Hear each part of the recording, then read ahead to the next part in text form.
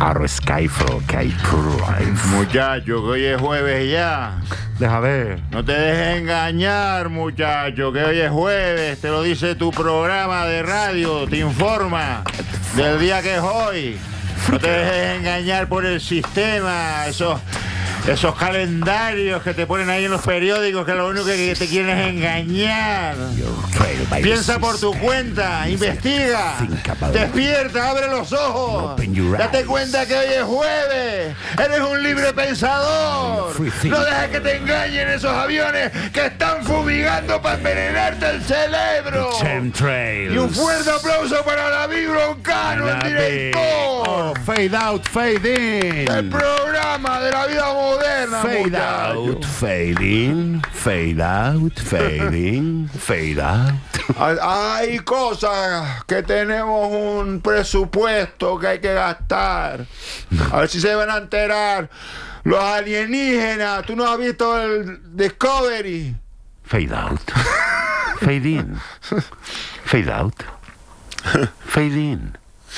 Fade out. Esto para la radio lo quitamos, ¿eh, Alex? No, hombre, no, es lo mejor. Además que quieren el estado de alarma para ponernos un bozal. El bozal, ¿eh? Hoy nos, hoy nos enfrentamos a un terreno desconocido. Es que estoy creando, contamos, un, nuevo- ¿no? estoy creando un nuevo personaje. ¿Cuál? Magufo. Bueno, es muy buen personaje. Es que ya ellos ya mismos. Es un eh, personaje complicado porque ya ellos mismos son unos- personajes Claro, es muy difícil. en sí mismos. Parodiar el humor extremo es muy difícil. Claro. Descubrí la palabra. ¿Has ¿sabías descubierto que- la palabra magufo, ma- magufo ahora? Había escuchado la palabra, pero no sabía que viene de mago y UFO. Ah, yo tampoco sabía que venía de eso, la verdad. Es que lo, lo flipé.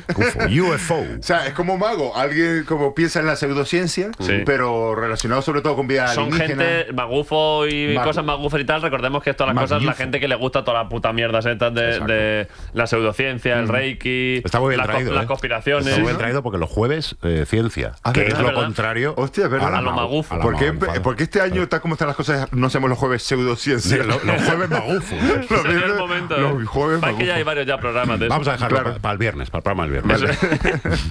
Es que otra cosa que suele ser muy común es confundir correlación con Mm. causalidad. Por supuesto. O sea, si, si una cosa sucede después de otra, es que esa cosa estaba destinada a suceder. Claro. Pero esto se usa mucho, ¿eh? Sí, ¿no? Cosas que tienen una correlación fuerte y que la gente piensa que una implica la otra. Claro, Y a veces que no. dos cosas sucedan una detrás de la otra eh, a nivel temporal no significa que una cause a la otra. No tiene por qué. No tiene por qué. Podría suceder. Sí. O sea, basta que suceda una vez para que esa persona ya se quede con su Si inteligencia tú quieres, eh, si tú, nublada. if you want to believe, Claro. Claro. Es que además los magufos que siempre ganan. O sea, siempre gana. Un Claro. conspiranoico siempre gana. Claro. Siempre todo le da la razón. Hostia, por cierto. Entonces, ¿tú quieres buscar razones? Claro. Ahora que estamos hablando de ciencia, es que me acabas de. de- pasa, Nacho? ¿Sabes lo que es la curva de, Kru- de Dunning-Kruger? La verdad es que no. Pues ¿qué habla de esto? Es un- habla de esto, muchacho. Yo he, inve- yo he investigado por mi propio. ¿Te lo has apuntado ahí en el móvil? Sí, mira lo que es la curva. El magufo canario, ¿eh? Además. Sí. Joder, es que me ocupo canales. A ver. Es la curva de cuando tú no tienes, cuando eres una persona eh, sin mucha información, Vale. eh, tu nivel de confianza sube. O sea, Claro. si, si eres un ignorante, Claro, si- claro, eh, claro, claro. tu nivel de autoconfianza sube Cuanto más porque no lo contrastas. más seguro. La- exacto, estás impermeabilizado a la duda. Déjame que lo describa. Eh, Es una gráfica con do- eh, en el eje X pone tu nivel de competencia, o sea, como de conocimientos, Sí. que va de ninguno a experto, y en el eje Y, en el eje vertical, de tu confianza en ti, en ti mismo. Claro. Entonces, al principio, con, con muy poca competencia, la confianza está muy alta, soy, un, soy el puto amo, luego baja, en forma de parábola, Según empiezas a, a tener conocimientos, baja. te das cuenta de que no sabes nada. Hace bañera. Hace eso, efectivamente, hace como una parábola. Y luego, según, según llegas a experto, vuelve a subir en tu nivel de confianza y ya es algo sé, pero bueno, conozco que tengo, sé que tengo algunos límites. Sí, pero nunca llega, la curva nunca llega tan alto como la confianza que tiene en sí mismo un ignorante, un estúpido. claro. O sea, la confianza que tiene la estupidez en sí misma eh, siempre está por encima de cualquiera que Eso esté mínimamente Eso es- informado. claro, eso es imbatible. Por eso en un debate Claro. siempre va a parecer como que gana el ignorante. Eso es. Porque te baja a su terreno. Y ahí es imbatible. Claro, Sí. gánale un debate a, a Teodoro. Desde el PP. Que pone aquí- Que te enseña, mira, que aquí pone Teo. Teo. Que pone Teo. Eh, Que me lo han cosido. Y Errejón, ya es que el núcleo irradiador. La ¡Teo! ¡Teo! bandera. ¡Ponle Teo! ¡Que ondee la bandera! claro, a ver qué Saca-. Claro, por eso ¿Y digo. cómo que- se llama la curva de- La curva de Dunning-Kruger. Dunning-Kruger. Tío. Dunning pensó un eje y Kruger el otro, ¿eh? ¿A qué le, qué le vendría bien a esto? Con- Es que es bonito porque estábamos hablando como de una actitud psicológica, Sí. pero que es mensurable Sí, sí, sí, claro. eh, con esta. A lo mejor Dunning era el ignorante y Kruger el que no. Entonces Claro. se juntaron y salió la curva. De... A ver, esto es el, el- el dicho este clásico de... De, de hecho, es que te, si te, lo, te lo leí o te lo vi el otro día a ti. ¿Sí? Eh, lo, de, lo de cuando tú echas... En cuanto al el, el- el Ah. fango de la ignorancia, eh, cuando tú echas mierda en un sitio... Sí. mm, cuando tú echas... si- ¿Cómo, cómo era? Si es que te lo- Ah, sí, que si echas Sí. vino en la mierda. Eso, si tú claro. tienes un, un Si cubo tú de tienes mierda... una barrica de vino Tienes Claro, un cubo y de... le pones una cucharadita de mierda, Es mierda. ¿qué obtienes? Mierda. Mierda. Y si tienes un cubo de mierda... Y, le de añades una cucharadita de vino, Mierda. ¿qué obtienes? Mierda. Pero eso es una ley también que demuestra que la mierda siempre gana. Siempre, Claro. siempre, siempre. la mierda siempre tiene ventaja. Sí. Eh, esto lo hablamos una vez en Lo Común, ¿no te acuerdas? Es verdad, Que es la verdad. vida, el amor, las cosas valiosas de la existencia requieren de muchísimos cuidados. Hay que cuidarlos son como un bonsai. O sea, claro. Eh, para que no. eh, es una ley de la entropía, de la segunda ley de la termodinámica, si lo Sí. piensas, que siempre, para que no tienda al caos el sistema, Hombre, claro. siempre que está- hay que estar aportando energía para mantener cierto orden. Joder, macho. ¿Cómo ha mejorado lo común últimamente? es que eh, antes, güey, antes bien. Lleva un año está- y pico, lleva un año y pico elevadísimo el programa. Entonces, por ejemplo, la vida, el amor, la dignidad, cosas valiosas que valen, Sí. que, que van a acabar eh, dilu- diluyéndose en la mierda, inevitablemente, Claro. porque es una ley universal. Salvo que- Sal- no, no, salvo que no. no, hay, no hay salvo. Que iba a dar una esperanza de... No, no hay esperanza, ese es el rollo. Eh, quiero decir, eh, la mierda siempre gana. Sí. Ese es el rollo, la mierda este es siempre el- gana. Pero el mensaje de hoy. la, la- la esperanza Pero puede... igual salen otros valores o otras circunstancias eh, sociales que ni conocemos ahora, que sustituyen al amor y a la dignidad. Sí, mañana, mañana, Sí. ¿sabes? Mañana. ¿Sabes a lo que me refiero? Sí, puede Sí. Un hombre, sentimiento entre personas que no conocemos. Claro, que no, que no pueda encajar en la definición de amor actual, digamos, Claro. que sea otra cosa. Cosas nuevas. Ya, puede Claro. ser. Vamos a eso un poco. Claro, Cosas que- nuevas que, no, que- que ahora mismo no, eh, no- no podemos concebir. Que a lo mejor se llama, en vez de amor, se llama Prombal. Prombal, claro. Y- Y, a lo mejor el Prombal lo tenemos dentro como un virus Sí. y no sabemos ni expresarlo ¿no? todavía. Y la gente que pueda sentir eso no sabrá lo que sentían los que sentían amor. Bueno, yo Claro. por vosotros dos y por todo el equipo siento bastante Prombal. Pero vamos. Porque amor claramente no es. No, amor, no, es que es, no, es Claro. otra cosa. Es, Es que fíjate, claro, porque por ejemplo, con los conocimientos, ahí sí que vamos de humildes. O, o- o no, o no siempre, pero ma- ma- ma- la mayor parte del tiempo decimos, hostia, seguro que hay muchas cosas que yo no conozco. Pero con los sentimientos no somos tan humildes. No, es verdad, O sea, ¿eh? porque a lo mejor hay sentimientos que no conocemos. Claro. O que tú crees que conoces Y es otra cosa. luego no. Sí, Eso exacto. Pero y además estamos ahora en ese, en ese momento de un poco dictadura de los sentimientos. Que es, Que- es- sí. claro, es complicado. Y hemos dicho alguna vez que tú de pronto crees que estás sintiendo amor Y es Prombal. y lo que. O, sí, o estás, o estás cachondo. Exactamente, que muchas veces se confunde. Esto se confunde muchísimo. Piensas que estás enamorado y estás en- lo que estás Es es, una fina línea. Esto ha pasado también mucho. Claro. Por eso te digo que eh, en este caso, por ejemplo, el amor siempre se puede desvirtuar fácilmente. Y eso tiende a la mierda, al caos. Claro. Entonces hay que esforzarse, leer libros. Sí, hombre. Es que, claro. Hay un libro que se llama El arte de amar. Sí, ya ahora. Hay, hay un libro que se llama El arte de amar. Eso me gustaba mucho cuando era pequeño y veía la publicidad del, del círculo de lectores en las revistas Sí. y el arte de amar. Y yo con 10 All 11 right. años viendo ahí dos personas desnudas. Uh, Algo hay aquí. así que es un arte. Me pongo a aprender. Yo, yo en la época mía de universitario, que para hacer tiempo, porque claro, no iba a estar en casa allí compartiendo piso, Claro. para hacer tiempo y no volver a casa, y, y- para estar solo básicamente, me metí en la biblioteca. Pues no sería solo tío, una eh. tarde, la tarde en que yo, me acuerdo de una tarde en concreto, yo leyendo un libro de ética de José Luis López Aranguren, Sí. el- el ponerme cachondo y ir al cine porno que había en la glorieta de Quevedo. O sea, de, Al cine X. de, de- de Aranguren. De, de Aranguren a eh, a- a pornografía. estar eh, viendo una película porno con alguien detrás ¿Te de mí haciendo- conocimientos? haciéndose una paja. Eso en cuestión de media hora Sí, sí, yo sí. viví esos dos mundos. Ya ves. Que, O sea, no es, que no están tan lejos. ¿eh? Que no, no, están tan no lejos, pero a lo que te voy, que rápida, eh, yo estoy acostumbrado a algo valioso, un conocimiento, hablar de ética, hablar de amor. Digo, te vienes arriba, es sublime, Mm. dices, hostia, estaré tocando lo que decíamos en el otro, el otro día, el, el fuego de los dioses. Dioses. Eso Estaré- decía también el que se estaba haciendo la paja. es decir, Estaré tocando el y fuego de los Y en dioses. media hora estás en la situación más sórdida de tu vida, rodeado, de, rodeado de gente masturbándose, viendo una pantalla de cine. Eso lo he vivido yo. eh, pues es que, claro, por eso, por eso mentalmente hay que estar preparado para afrontar ese. Y sin embargo, en, en ese cine X había un sentimiento por encima que os unía a todos. Que no era amor. el Promball. no era amor. Claro. Era el Promball. Yo voy a empezar a llamar al semen el fuego de los dioses. ¿eh? Esto, esto hay que propagarlo, hay que, hay que buscar nueva terminología. Sí. Pues fíjate, el dilema que os iba a proponer. Imagínate que existiera un libro sobre el arte de amar, pero bueno, uno en concreto que si tú lo lees, eres capaz de amar a tu pareja un 20% más. Sí. Si te lees ese libro, Sí. vas a ser capaz de amar a tu pareja un 20% más. Pero por lo que sea, a tu pareja le va a parecer que la amas un 10% menos. Ajá. A ella va a percibir eso, tu pareja. ¿Te leerías ese libro? No, Yo no. no, no.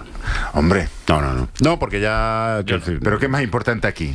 No, no. Que tú seas capaz de amar, puedes amar un 20% más. Ya. O lo que la otra persona sea capaz Pero de percibir. Un 20%, Ya, un pero 20% más es un agobio para ti 20% mismo. más y luego el 10%. Un agobio para ti mismo, pero también una satisfacción. pero luego el, tanto, el- el Hostia, pues si 10% capaz- menos eh, hacia la otra persona, coño, no hay algo ahí que no, Claro. no merece la pena. Que no merece la pena, pero claro, ¿a qué le estamos dando más importancia? No hay una respuesta correcta aquí, esto es cada uno subjetivamente. Le damos más importancia a cómo perciba la otra persona Sí. nuestro amor O o que que- nosotros efectivamente seamos capaces de amar ¿Tú más. por qué quieres ya amar más? Claro. Porque yo creo que el amor no es cosa de dos, es cosa de uno. Por eso digo, ¿para qué quiero yo ya más? Pues yo, Si ¿cómo ya voy al 100%. No, pero, hostia, parece mentira que lo digas tú siendo una persona tan competitiva. Pues si puedes ir. El amor es competir. El amor. Amar es competir. ¡Llegué primero! ¡Yo te quiero más! ¡Te quiero Yo te más! quiero más. ¿Cuánto me claro, quieres tú? Claro. ¿De dónde a dónde? Claro, es que ¡A lo- mí! Lo importante es que tú seas capaz a ti mismo de amar más. Y si la otra persona no lo sabe ver eso, que leen por culo. Algunos lo llaman acoso. O Cromwell. O Prombal, sí. Hay, hay esta competición, est- esta cosa, mm, esta cosa de, de cuando estás al principio, de primeros novios, que te dices, ¿de dónde, dónde me quieres tú? Eso lo habéis hecho, ¿no lo habéis ¿El hecho eso nunca? Yo no. ¿Cuánto me quieres tú? ¿De dónde a dónde? ah, ya, yo no entra- Yo es que- hasta- hasta ah, no sé- Es que como no soy competitivo, yo os entiendo a vosotros que sois más competitivos. Sí, hombre. Pero yo no compito ni en eso. A mí me pasaba eso de Yo primer- no, yo no, yo no. Con 20 años. No, yo no, yo no. Pues yo no- te quiero hasta Moscú. Y yo le decía, pues muy bien, pues, pues, tú- pues Sí. ganas. Pues has ganado Pues has ganado. Pues, no, que no, pues no quiero competir. El, el poeta loco que, está- que ha estado en manicomio, Leopoldo María Panero, hablando de Octavio Paz, una vez él le dijo, eres más tonto que de aquí a Tijuana. Pero es me- mesurable también. Claro, se me, se me quedó grabada la, la expresión. Hoy he dicho al principio del programa eh, y me acabo de acordar otra vez que nos enfrentamos a lo desconocido hoy. ¿Por qué? ¿Qué pasa? Porque creo Al que- amor, al en mi caso es tal cual. En mi caso sí. Eh, porque es la primera vez, creo que quizás en siete años, corrígeme Alex, que estamos grabando tres programas seguidos. Ah, mira. Ah, es verdad. O sea, que Eso no lo hemos... Que se podía. Se puede. Eh, Con lo cual, un día menos de. Bueno. Tres programas Uf, seguidos. estado de alarma, ¿eh? Estado de alarma de entretenimiento. Claro. ¿Cómo, ¿Cómo os encontráis en el físico? ¿Ya hemos grabado Bien, dos? bien, hoy hoy es sí. jueves en Hoy teoría, jueves. ¿no? Pero Ujú. hemos grabado ya. Este es el tercero. Yo me veo. Fíjate que en la, teoría, en la teoría lo pensaba como usted va a ser duro. y sin embargo, te siguen surgiendo los chistes, Pero ¿no? muy bien, ¿eh? Estoy fluido, creo. Yo aguantaba tres semanas más. Gra- Y- y grabamos vent- ventilábamos toda la 12. temporada. Gra- gra- Grabamos ver. ya. Hasta Navidad. Yo hoy no porque estoy cansado, pero podríamos ponérnoslo un día. Se puede, se puede hacer. Se puede intentar. Un viernes Venga. grabamos cuántos podríamos grabar. Cuatro. No, más, No, más, ocho, más. Si nos ponemos en plan a- ya a liarla, Pero con Dos. cuatro ya haces toda la semana. ¿Tú quieres liarla más todavía? Dos semanas, ocho. más 12. Doce. Venga, 12 tres. programas. Venga, Seis horas. Lo compro. Seis horas de grabación. Y tres semanas libres. Atención, ve, asoma un dedo. ¿Con qué? Eso, para ti es lo que estás acostumbrado a hacer con la bici y nadar da y todas esas mierdas que haces. Y con los rodajes. Solo que en la ra- y, con- y en los rodajes. Claro. O sea, eso para ti. Seis Pina- horas, ¿eh? Alex, Alex, Alex, por ti. All right. Pero claro, a partir del programa 5 o 6, esto ya no empezará. Si ya muchas veces no es gracioso, A Bea no le hace ni puta gracia esto que está. ¿creéis que pues, sería gracioso el programa número 8? Quizás no. ¿eh? Claro, pero Bueno, esto es lo mismo que decíamos antes de la segunda ley de la termodinámica. Sí. Eh, llegará un momento que no podamos seguir aportando más diversión. Bueno. Necesitaremos dormir, necesitaremos No, pero si hacemos. refrescarnos. Perdón, creo que hay que hacer 16. 16. 8 horas. Una jornada laboral normal, Sí, claro, ocho horas. 8 horas de comedia. Vale. Lo grabamos y grabamos 8 programas del tirón. Vale. Y nos vamos 4 semanas que no tenemos que venir a grabar. Hostia.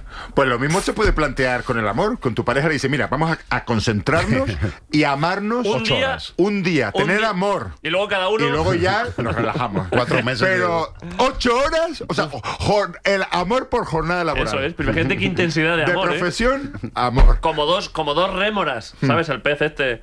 Como dos rémoras juntos ocho horas. ¿sí? ¿Cómo te quiero?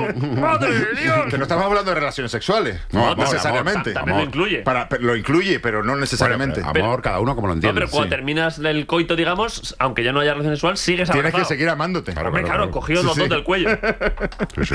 Por eso vamos a Por nosotros con la comedia. laboral, exacto. Y, y- y y aplicar, pues igual que se hace en la. Tú nos ¿Cuándo lo hacemos? Aplicar calor Ah, buscamos fecha ya. sobre la Buscamos fecha. superficie. Venga, pues buscamos, buscamos fecha. Vamos a ver. Nacho, un viernes, ¿no? Un viernes. Vale. Venga, yo ahora mismo, como hay pocos bolos. Por eso. no- A la plancha. De, entre eh, programas a la plancha. De, Claro. de aplicarles ahí diversión y entretenimiento. Entra alguien y dice, ¿me das un programa de humor? Y tal? es que ya he pagado la plancha. Ya no se puede. Exacto. Y luego apagamos, desenchufamos la plancha y nos vamos. Este viernes. Perfecto. Este, no, este, a ver, este, 16. Yo es que los el siguiente no puedo, el 23. Ah, no, no podemos. El 10. Hostia. Tenemos la vida moderna en Berlín. ¡Que no! Yo también lo tenía ¿eh? apuntado aquí. La puta. ¿Lo hacemos este viernes? Venga, vale. Ocho horas. Nacho.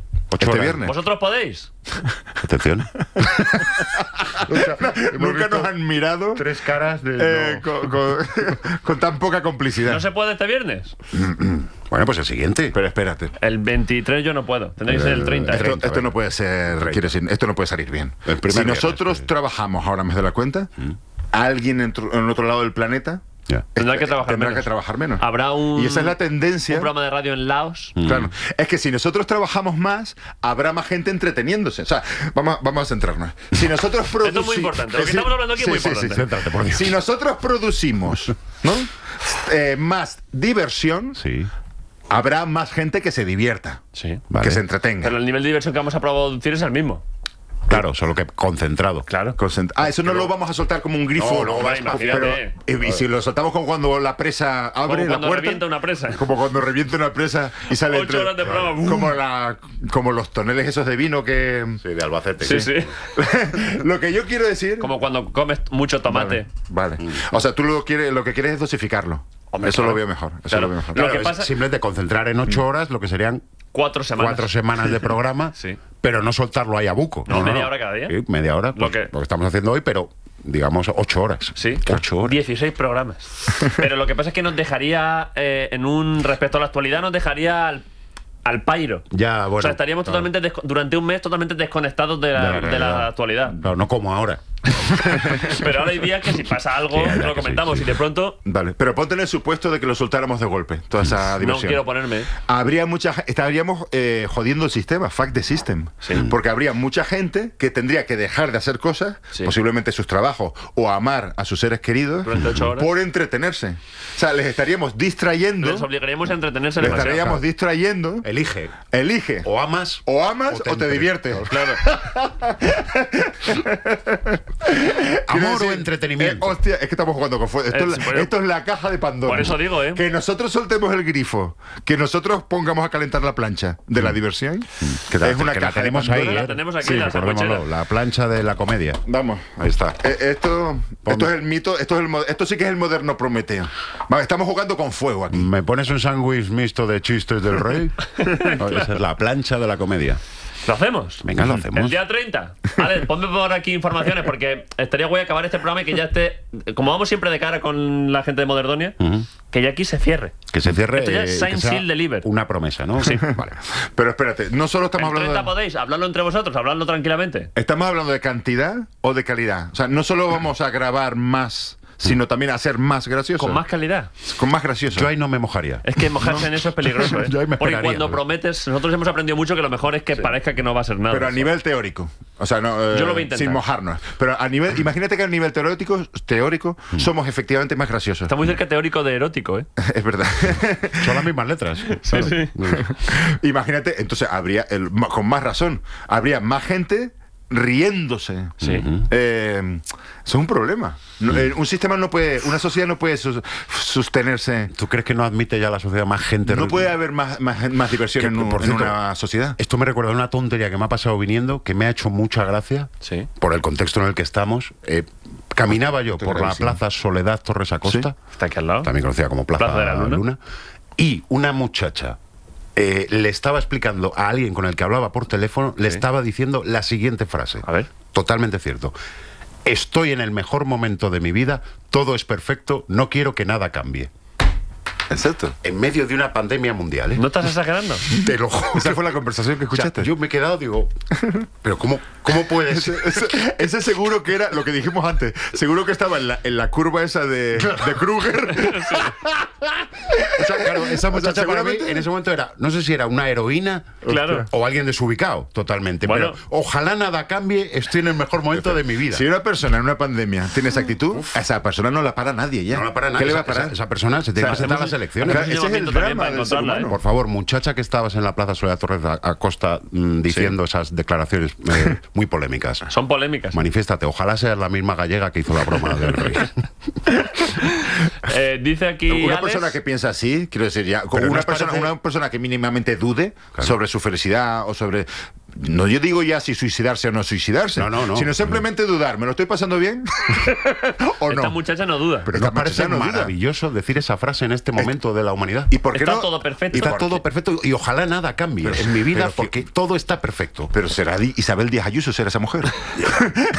De lejos no Creo que parecía, tiene, tiene pero- movidas esa mujer. Claro, que Yo ¿en qué creo que Isabel Díaz vida? Ayuso está convencida de que todo va bien. ¿O qué, o qué vida habrás tenido hasta ese momento Claro, para que ahora es sea que tu igual- mejor momento? Claro, porque yo un momento en mi vida en el que todo haya sido perfecto, no quiero que nada cambie, supongo que cuando tenía un mes de vida. Sí, claro, Que es- estaba todo el rato amagado a la teta de mi madre. Sí, o momentos ca- muy, calentico. o momentos muy puntuales, fugaces de Claro. felicidad, que esto sabes que la felicidad pasa y tú te, Te das cuenta después. A posteriori dices, "Ca- acabo de ser feliz y no me he enterado. Qué pena. Qué pena que Como en he disfrutado 2019. el- claro, en 2019, por ejemplo. Éramos felices. Eh, uf. Esa mujer tiene que ser nuestro comandante en jefe. es que es O una. sea, es que- reniego de Íñigo Errejón, que era hasta ahora mi. Y de Juan Espino, Y de Juan Espino. Juan el luchador de El UFC, luchador que también. te templó. Que me templó bien, que me subió ahí por. rene- reniegas de Pablo Motos. Sí, esta mismo. mujer es la que tiene que, que guiarnos. Es la que lleva la Políticamente y militarmente. Llevas la antorcha ahora mismo, muchacha de la Plaza Luna.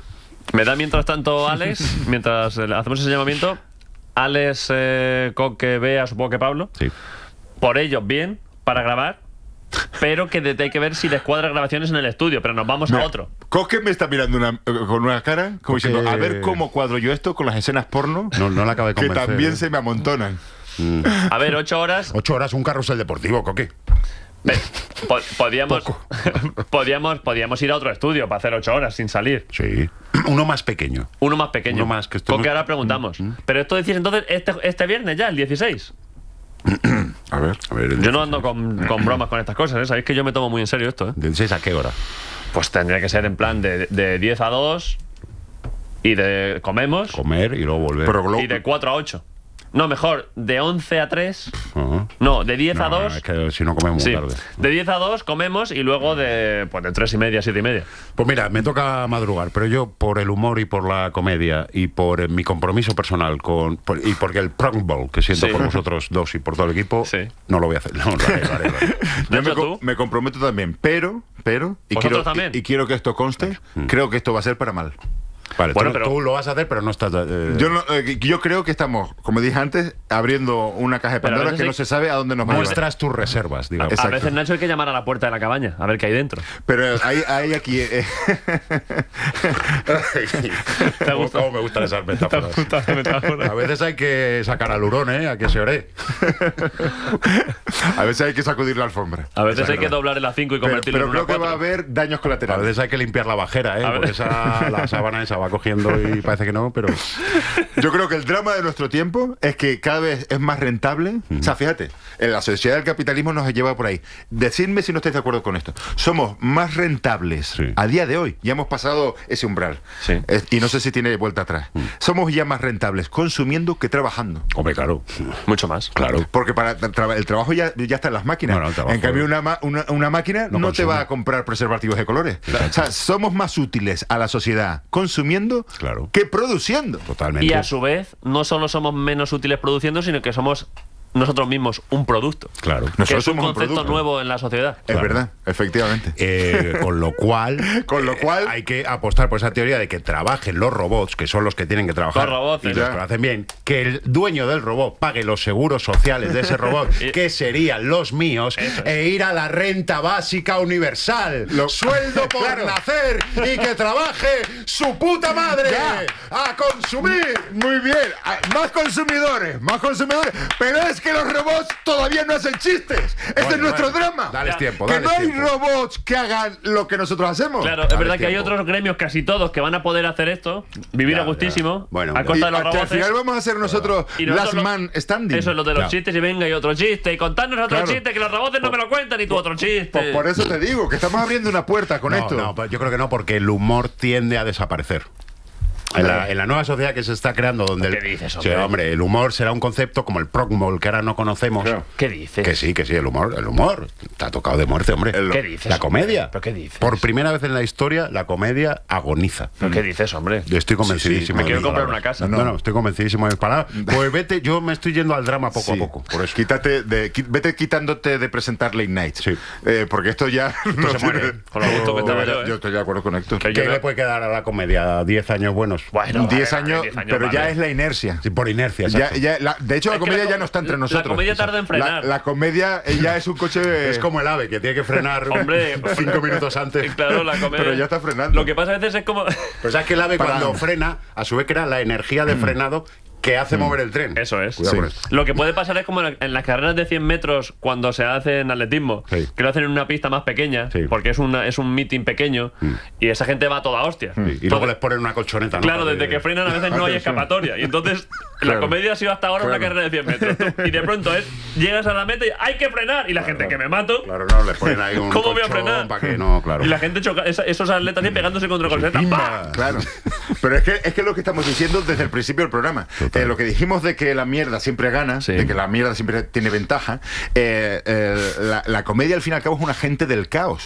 Es distorsionar la realidad, retorcerla si quieres, para ofrecerte, ofrecerte otro punto de vista sobre la realidad. Claro. Eh, si, si, si la realidad ya es una mierda, y quizás estamos yendo hacia eso, la, comedia, ya no, no no es tiene un sentido. contrapunto a nada. Exactamente. O sea, si todo es una mierda, la comedia ya no te fue- Eh, puede, ofrecer. Si todo es fascismo, nada es fascismo. Si todo es una mierda, Claro. ya no hay margen Por para eso digo yo, que siempre lo he defendido, Estás disgustado, ¿eh? es que la- por eso la comedia ¿eh? necesita los límites, porque los Claro. límites imprimen orden al sistema. Claro. Y, y- y la comedia necesita que haya un límite para transgredirlo, Exacto. para sobrepasarlo. Si ya no hay límites. Si no hay límite, si no hay orden, si no hay una cultura, si no existe Occidente. Si no existe, perdóname, La eh, comedia Ignacio, desaparece. si no existe la civilización. Exacto. Que es a lo que va. Exacto. La Ay, Dios mío, qué civilización. disgusto me estoy Exacto. Y, y- añado disgusto. una cosa más a tu pensamiento, como siempre, eh, brillante. Qué disgusto. Vamos, caminamos desde hace tiempo hacia la sociedad literal. En una sociedad literal Es verdad, es verdad. no hay margen para la comedia.